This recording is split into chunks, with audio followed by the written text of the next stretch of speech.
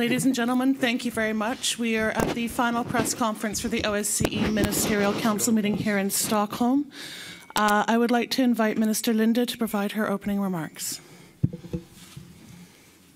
Thank you very much. Representative of the press, colleagues, Foreign Minister Rau, Secretary General Schmid, welcome to the final press conference of the 28th Ministerial Council of the OSCE. I'm very pleased that we have completed these two days with all 57 participating states gathered for frank and open discussions on the security challenges facing our region.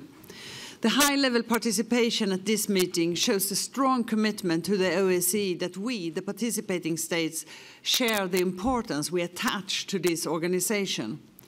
It is clear that there are areas where we, the participating state, disagree. Since the rule of our organization says that we must all agree to take decision, this means that it can be a challenge to take brave new steps in our cooperation. But at the same time, what this meeting has underlined is the real importance of keeping up our dialogue, of meeting in person to deal with crises and challenges, to explore where we can agree and where we have to agree to disagree. This function of the OSCE, together all around one table, is truly irreplaceable and something to cherish. I believe that the Ministerial Council has really played its part in this respect. I'm very happy that we have reached a decision on strengthened cooperation to address the challenges caused by climate change. It means a lot for the future of our organization that we are able to move forward in an area which is one of the defining challenges of our age. We have also agreed an important statement on the negotiations on the Transnistrian settlement process. This week, we have also taken a historic decision when we agreed that Finland will chair the OSCE in 2025 50 years after the Helsinki Final Act. I'm proud that this decision has been taken under our period as chair. I think it will be so important for us to reflect on the strides we have taken since Helsinki in 1975 at the depth of the Cold War and look ahead at the need for international cooperation and respect for the security order in our region. Let me be very open and honest. I personally would have liked to have seen more decisions and declarations today, for example, regarding women's economic empowerment, which has been a priority area for us during this year. Strong commitments here would have been important to be better equipped for the OSCE in the future. However, we are still proud of that these issues has been high on the agenda of the organization during our year as chair, in our diplomacy in capitals and in line with the OSCE important work in the field. I'm certain that this will continue to be an important area of work in the years to come. During the year, I have visited around 20 participating states and met with all OSCE field presence to support these priorities. I've seen firsthand the essential contribution that our organization makes to improve the lives of persons affected by conflict in our region, for instance, in supporting the right to freedom of movement for people in the non-government control area around Ukraine. In all my visits, I've prioritized meeting representatives of civil society to support their work for democracy, the rule of law, and the respect for human rights, and to get grassroots perspective of the issues dealt with by our organization. I'm proud of the work we have done on youth and security, together with my special representative, Rosalind Marbina, showing what young voices can contribute to preventing and solving conflicts. During our year as chair, Sweden has engaged in intense dialogue and used diplomatic tools available to respond to crises, tensions, and conflicts. And we have seen results. This includes the essential ongoing work of the Special Monitoring Mission to Ukraine, OSCE, OSCE, instruments being used to counter negative development in the OSCE human dimension, and the Vienna document being activated to see clarity over the unusual Russian troop movements uh, along the border of Ukraine and on Crimea. These results and activities show the continued relevance of the OSCE and how political engagement can contribute to resolution of our most difficult challenges. The key is trust. Trust built on adherence and accountability to our common principles and commitments. We have had our share of challenges during the year. I have repeatedly seen how the consensus principle, originally the source of strength in the organization, has been misused. These developments are regrettable and something that we, can, that we as an organization should reflect upon and find solutions on how we can work together better based on principle and commitments that we have agreed on. In 2021, Sweden has worked tirelessly to lay the foundation to rebuild and strengthen trust. We have focused on fundamentals of the OSCE, such as the insight that security depends not only on the security of the states, but equally, or perhaps even more so, on the security and well being of our citizens. This, of course, includes the entire population, not just half of it. For too long, women have played a marginal role in our society. This is why the Women, Peace and Security agenda has been such an important focus area during our time as chair. And we have achieved results.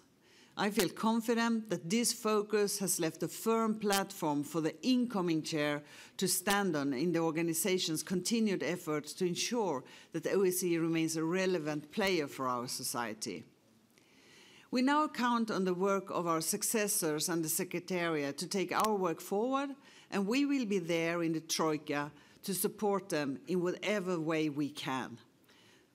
Thank you very much. I will take the floor after uh, my, my colleague and the Secretary General has taken the floor. Thank you. Thank you, Minister Linde. Minister Rau, would you like to deliver your remarks, please? Thank you. Thank you very much.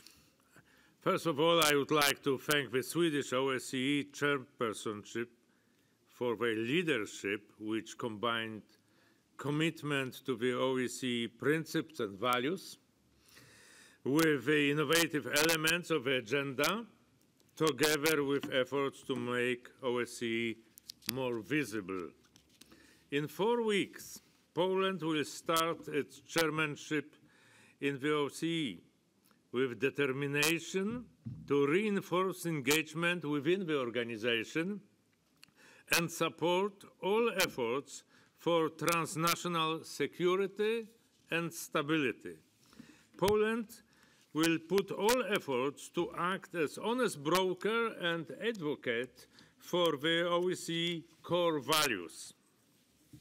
Our intention is to collaborate with Troika at its full capacity. We will continue offering our full support for the OSCE field missions, mediation formats, groups, and work of the special representatives of the chairperson in office. Our attention will focus on ongoing conflicts and crisis situations their impact on regional stability and on the affected populations is devastating. We are witnessing tensions and threats for societies in a number of OSCE partner, uh, participating states. We strongly call on respect the right of people to live in peace and safety. We are aware of the scale of tasks that await us in the year 2022. What we cannot predict at the moment is the exact scale of the challenges we will face. However, I'm convinced that in December next year, we will meet again with a feeling of fulfillment and participation in a meaningful chapter of the OSCE's history. The OSCE's chairmanship is a generational event. We will take this chance to develop complex and wide activities, engaging all OSCE's institutions, missions, and participating states. We look forward to presenting the Polish chairmanship program in January in Vienna. Thank you. Thank you, Minister Rau. No, it's, uh, what- Ah, It's okay. Thank you, and uh, it's a pleasure uh, to speak at the end of this busy few days. And I really would like to commend you, Madam Chairperson, for your dedication, commitment throughout the year, and also for the successes. Um, and because I think this, and this ministerial council in particular has been a great opportunity for uh, OEC ministers, but also our Asian and Mediterranean partners to discuss face to face, also very important, the foremost challenges uh, to peace and uh, security. And uh, while dialogue may be struggling, uh, OEC staff are implementing activities that deliver really benefits for millions of people. And so, for me, also one year on in this job, it was a good opportunity to highlight the remarkable impact this organization has across the region with its activities, particularly also the field missions. And this really ranges from training border guards to the work we do on small arms and light weapons, women's economic empowerment, uh, and our world leading work on combating the trafficking in human beings, which is both a security challenge, but also a human rights challenge, which disproportionately affects women. So if you look at all these um, uh, activities, and I don't want to go in detail, I highli- highlighted many uh, in my statement yesterday, it's clear that we deliver real value for money on a very tiny budget, which uh, is very humble in comparison to other international organizations, as one of the ministers uh, uh, told me. Uh, but I'm also see, um, pleased to see how quickly uh, the organization um, is adapting and is finding also responses to new challenges. We had in the Secretariat, we had prepared a food for thought paper for ministers on the implications of the situation in Afghanistan and how the OEC uh, uh, should react, um, because there's a need to address the challenges, but also potential for uh, cross-border cooperation, including in the area of trade. And it is also clear that uh, the, uh, the, crisis affects uh, the Central Asian countries disproportionately, but it will have a ripple effect deeper into the OEC region with a potential increase in trafficking in human beings, drugs, weapons, or cultural property. And I was very pleased also with the outcome uh, of this uh, discussion. We have a clear tasking now. We also spoke about the need to stabilize communities, including by empowering women and youth and also by um, uh, preventing violent extremism, which is particularly important in border regions and along transit and supply routes. And I had the, uh, the, the, chance to have many bilateral meetings, and I was particularly grateful for the bilaterals I had with my Central Asian colleagues to discuss um, the particular impact uh, it will have um, as far as they are concerned. So a lot of work to be done. I will return now to Vienna to, be, to begin consultations and prepare a package uh, of concrete activities on, to suggest to the participating states on which the OEC can deliver. And the other point I would like to highlight is the adoption of the ministerial uh, decision on the challenges posed by climate change, and congratulations to our chairperson and the team for negotiating this. And with COP26 still fresh on our minds, I think this new decision now will bring momentum to the OEC work on climate security because it emphasizes that the effects of climate change uh, can and will exacerbate economic challenges and environmental degradation to the detriment of prosperity, but also stability and security, because climate change is a threat multiplier. I think this is uh, internationally recognized by now. We have already worked uh, with government, civil society, academia to identify 42 geographical hotspots where climate impact uh, could adversely affect security and stability. And we're now working on joint responses uh, and, uh, to strengthen uh, climate change and resilience. But this new decision will help us advance in our climate um, uh, work when it comes to exchange information, best practices, but also technologies, innovation, and also joint work, joint research, joint an analysis, and then joint solutions. To finish, I'm looking forward uh, to working very closely with Minister Rau next year. You, he, you can count on my personal support and the support uh, of uh, this organization. Also, congratulations to Finland for 25, which will be the 50th anniversary of the Helsinki uh, Final Act. And in concluding, let me say, I really think it's undeniable that the OSCE has an essential role to play when it comes to improve security and stability in the lives of over 1 billion people uh, in, that live in our uh, region. And, uh, and in, in, in this respect, the organization um, needs not only a stable budget, but also its timely adoption uh, and um, uh, to effectively function and to deliver on our activities. And to this end, I have launched an ambitious reform process internally to increase also effectiveness um, within the structures. And I'm grateful to those ministers who recognized and emphasized that point throughout uh, this council and also grateful for the words of appre appreciation for the great work OEC staff does in Vienna and in the field. Thank you. Mm. Thank you, Secretary General. With that, we are ready to take questions. Please wait for one of our runners to come with a microphone. We have one up here in the front. Please identify yourself and your outlet and who you'd like to ask the question to in advance. Uh, my name is Pontus Ahlqvist. I'm from Swedish news agency uh, TT. I have two questions for uh, Foreign Minister Linde. Uh, I will pose in Swedish and uh, one uh, to Secretary General Schmid. Um, hur, um, vilken är den största segern skulle du säga under det svenska ordförandeskapet eh, som, som har eh, uppnåtts? Och eh, vad har du för medskick till din polska kollega inför nästa år eh, som tar över ordförandeskapet? Dann noch eine Frage an äh, Frau Schmidt. Äh, können Sie entweder auf Deutsch oder Englisch beantworten? Äh, wie bewerten Sie die sicherheitspolitische Lage in Europa heute im Vergleich mit vor einem Jahr, als Sie da angefangen haben?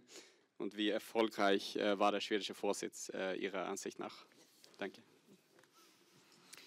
Eh, tack. Jag skulle vilja säga att den, eh, den största segern är faktiskt inte ett enskilt beslut utan det är att vi kan ha kunnat upprätthålla OSSEs eh, principer och åtagande och använda alla de eh, verktyg som OSSE har. Och genom, dess, genom det till exempel eh, Eh, stoppat konflikter som har börjat dödligt men som vi tack vare det, de verktyg OSSE har, har kunnat få tillbaka till förhandlingsbordet. Eh, och att vi har kunnat behålla och även, skulle jag vilja faktiskt påstå, öka eh, OSSEs relevans när det gäller i, att komma framåt i konflikterna och att se att OSSE fortfarande är en säkerhetsorganisation, världens största regionala, där man, och det visas ju av det här eh, ministermötet i slutet, där man faktiskt är ett 50-tal utrikesministrar som väljer att komma hit till Stockholm. Det är det största. Sen kan jag inte låta bli ändå att säga att jag tycker det är groundbreaking med det här eh, klimat och säkerhet. Och som Helga sa, jag har identifierat 42 hotspots och nu med, de här, med det här mandatet så kan vi sätta igång och jobba på det. När det gäller medskick till min eh, polska kollega jag får översätta det sen så han eh, undrar. I will, I will take it. I understood polska kollega. så vill jag ändå eh, hoppas på att eh, eh, han fortsätter med det arbete som vi har börjat när det gäller eh, kvinnor, fred och säkerhet och eh, en advisory group on uh, women och, så, och vi har haft a special representative on gender. I just said, what, what do you want to, to pass on to your Polish colleague? And I said, I hope and I expect that you continue with this work we have started when it comes to uh, quality issues like the advisory group of women, um, which we have decided to propose that we uh, administer uh, also during the Troika period and uh, to keep the, the special uh, representative on gender, uh, Moldavian Liliana Palihovici. That would be my, my passing on. Excellent.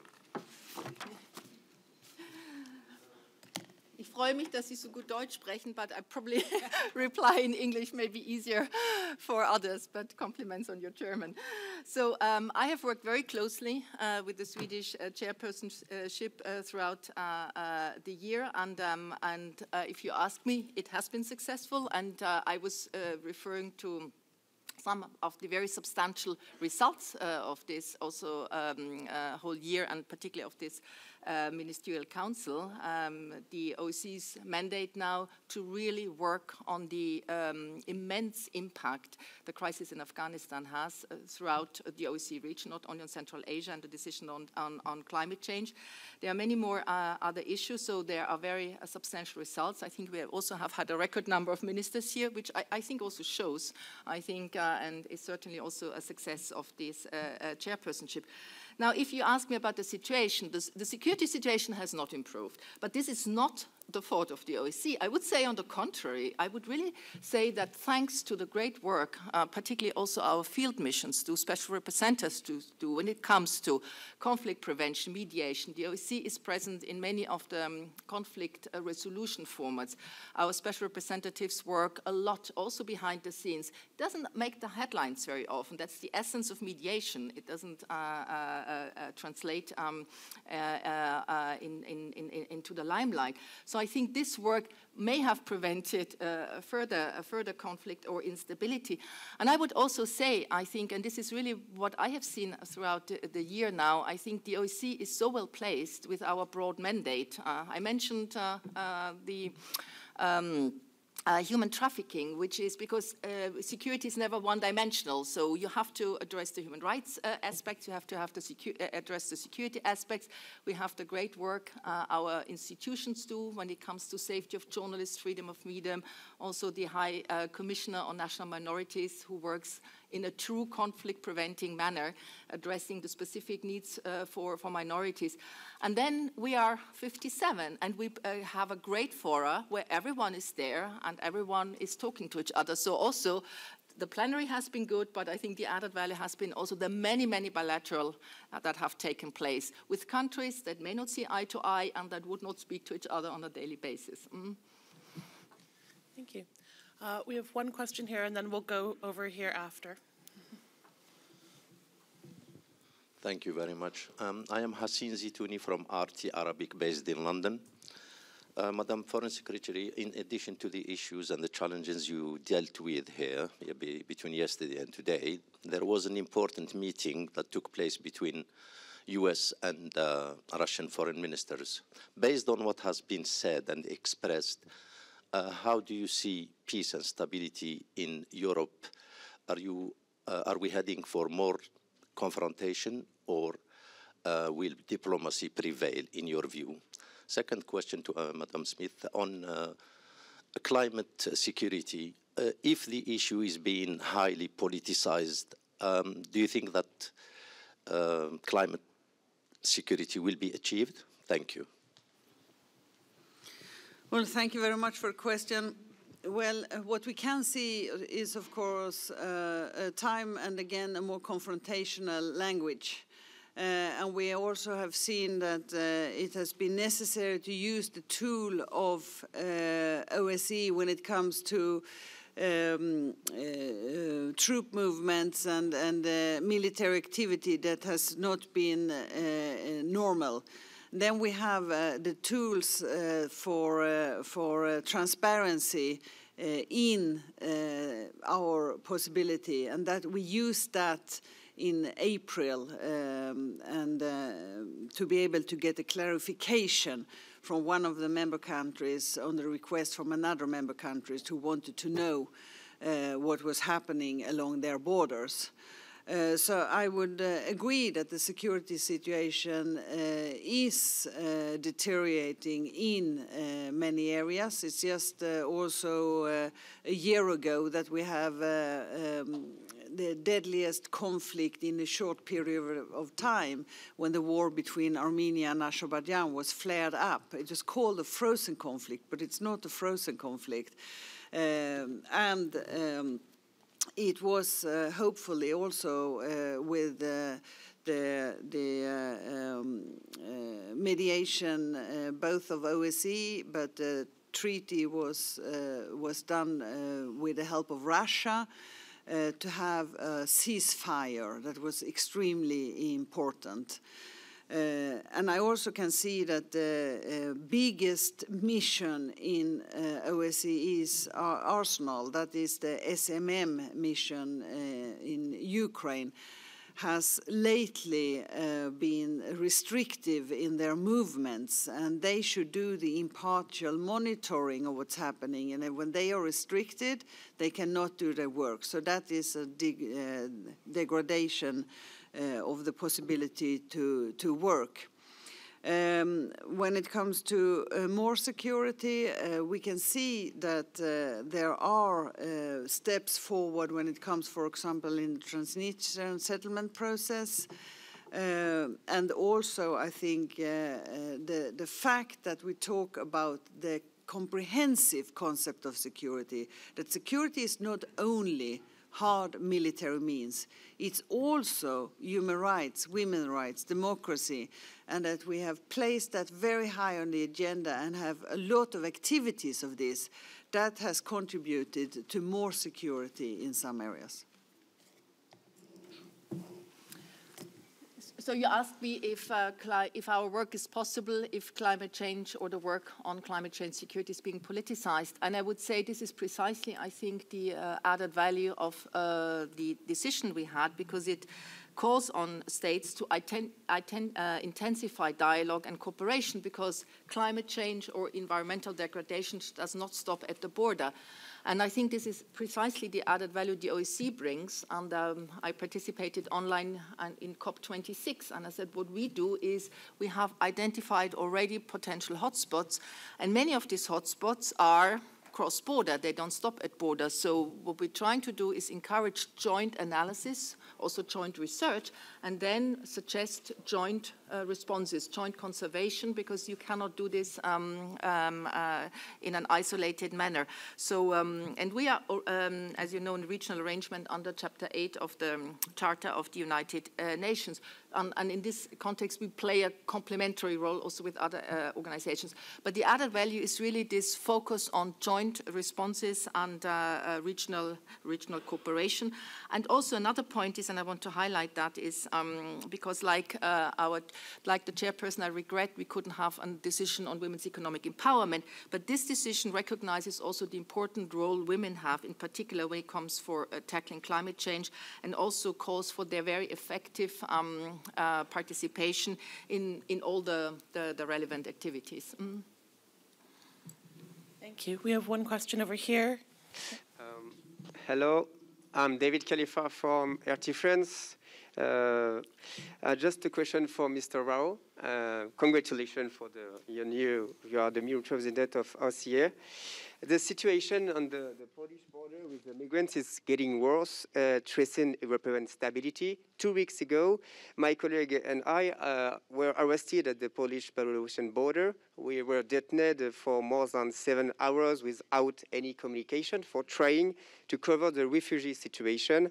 How do you assess the, the freedom of press in European Union and in OSCE?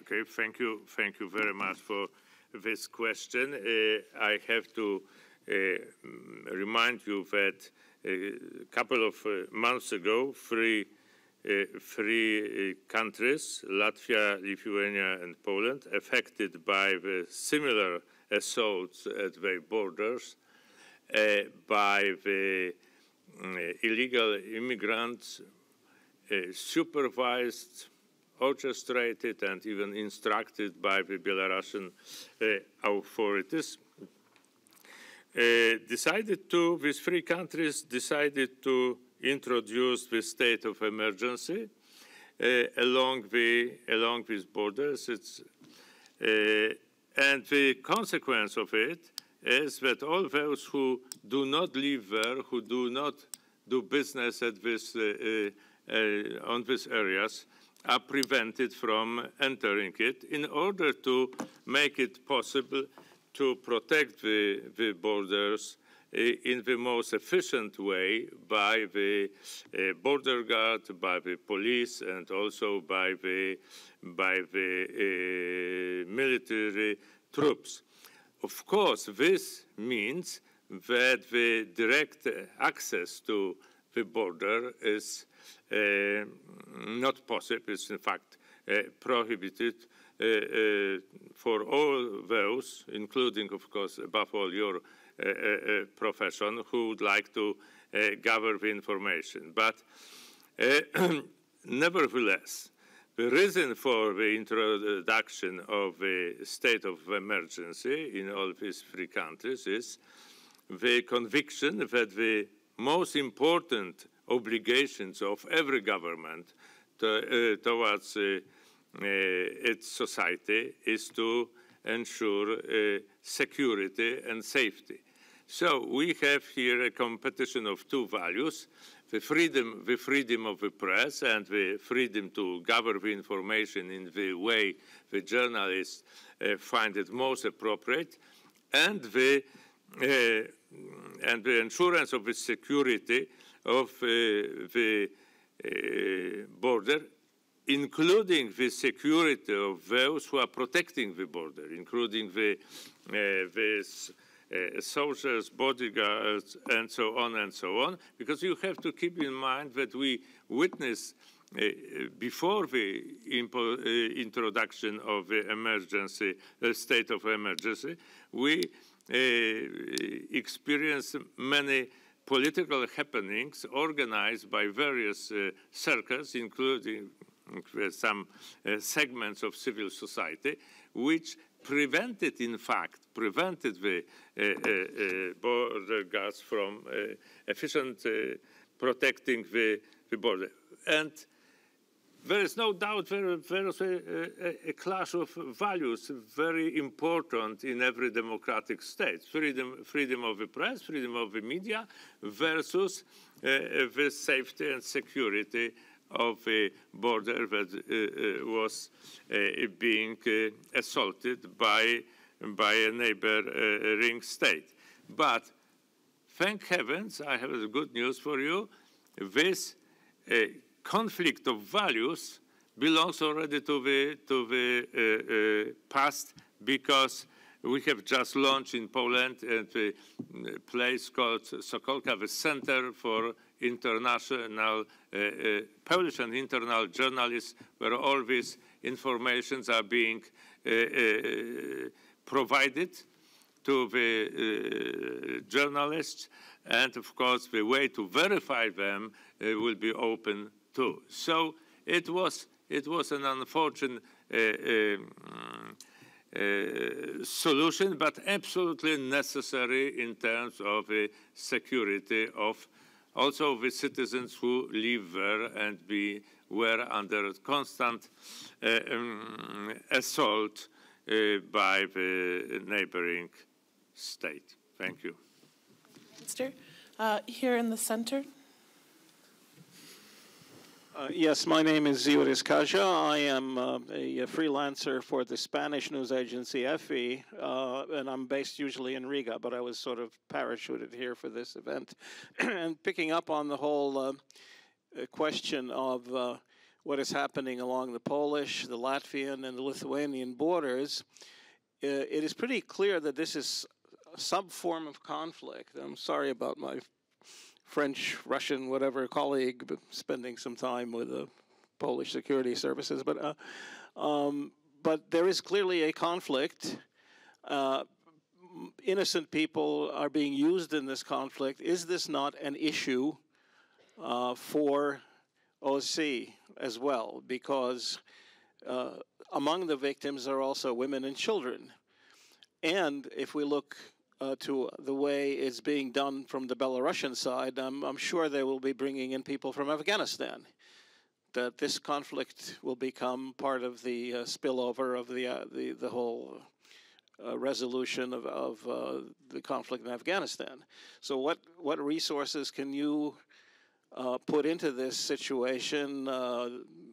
or does it suffice that NATO and the European Union are trying to deal with it? Well, thank you very much. Well, of course, it's of concern both to OSCE but also to EU and other countries. I would say first it's uh, the obligation and right of a member state of EU to secure uh, the border, and that is what, what Poland and the other countries has done. Then, of course, uh, it is uh, absolutely imperative that any member countries of OSCE, and Belarus is a member country of OSCE, is following the agreed principles and commitments. And then uh, the use of human beings uh, in this way is absolutely not in line with the commitments and uh, principles. Uh, those person has been given false premises that if they are going to Belarus with the help, with the active help of the Belarusian regime, then uh, they will be able to get a new, better life in EU, which is making those people believe in something that is not true for um, um, with the, with uh, reasoning of, of uh, uh, the regime. And here, um, of course, both uh, the, the EU and the individual member states of EU, and then speaking in my natural capacity, has done what's necessary uh, in this uh, more more specific issue. But it, I would say it's clear uh, uh, breach of the commitments and, and uh, um, principles uh, of the security and human rights situation of persons. So we have a question back here. Marc Préel, AFP News Agency. Um, you mentioned, Miss, Mrs. Linde, the, the, the situation with the, um, the observatory mission in Ukraine. What, what is the latest on the ground, and has the have the protests that have been made in the late, latest days made any progress on this? And and my second question is on you mentioned the uh, empowerment of women resolution. Uh, I understand that this resolution has been blocked by Russia, but also by Vatican, which seems a bit uh, special. Can you explain what happened and what uh, what was the problem with this? Thank you.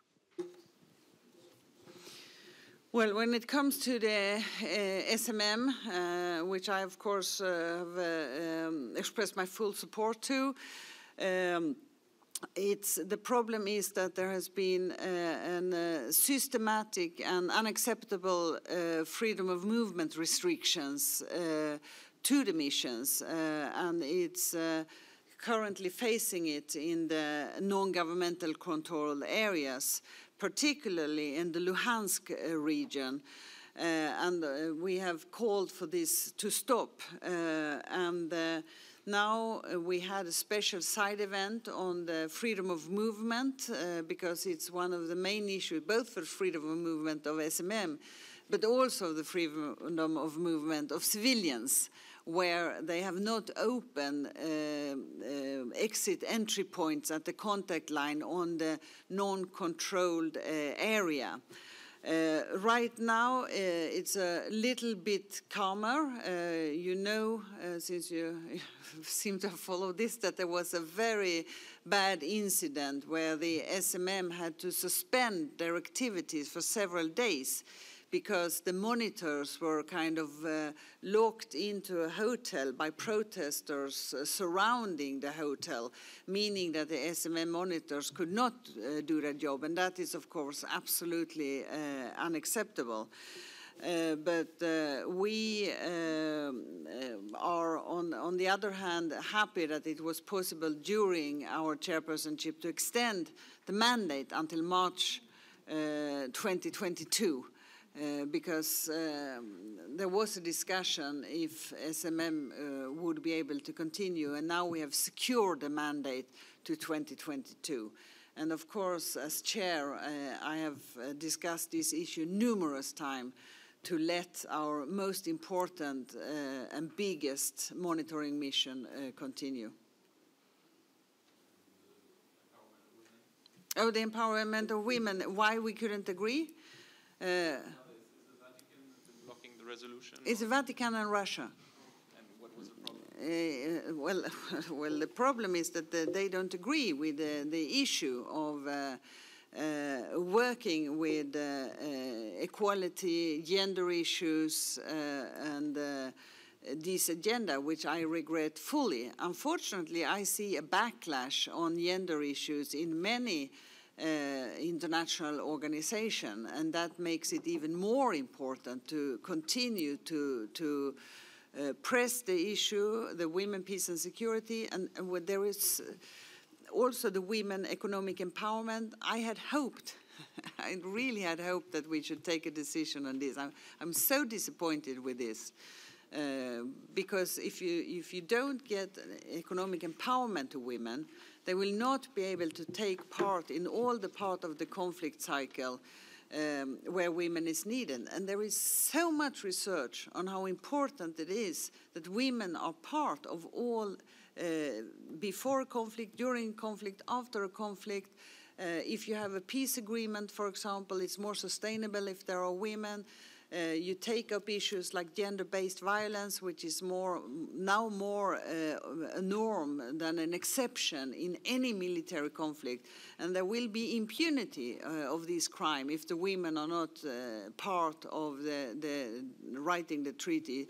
And uh, also, if you don't, don't have gender analysis before you go into a conflict, the missions who go, they can face situations that they are not prepared of making the conflict harder instead of making the, uh, the conflict closer to a solution. So there are, there are just innumerous arguments why this is so important, also for the security situation. So I, this is an area that I feel that uh, OSCE has to try and try and try to, to keep it high up on the agenda.